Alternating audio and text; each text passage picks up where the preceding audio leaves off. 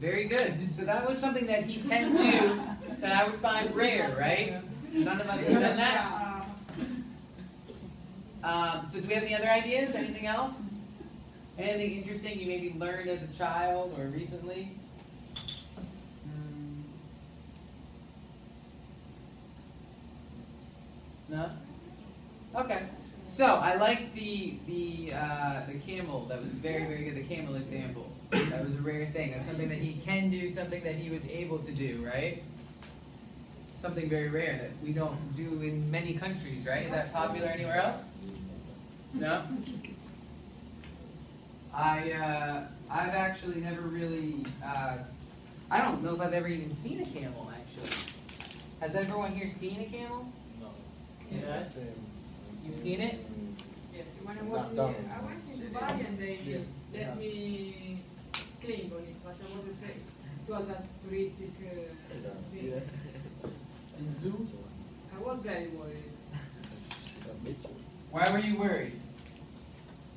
because it's, they're huge. It's a big animal.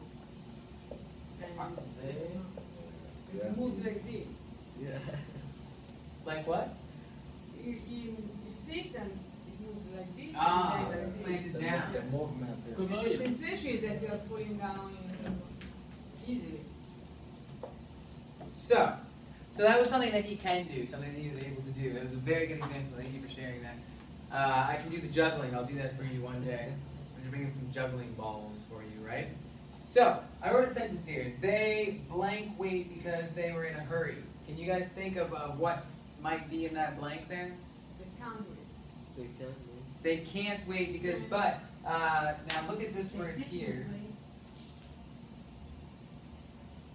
right? So that's past, right? Oh, So it wouldn't be can't. It's close, very close. Could, couldn't, right? Couldn't. Very good. Couldn't, right? Have we seen that before? Yeah? Yeah. Couldn't? Was that on the te- one of the recent tests that you No, took? just the lesson of uh, today. The what? The, the lesson of today. Oh, The okay. morning. Shoot down, cool down. Today? Yeah. The, the bus. That was another one that you did recently. Okay.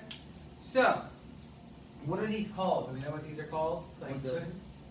couldn't? Verbs. Very good. Yeah. Modal verbs. Abdul's on it. Abdul's on it. He knows. He knows.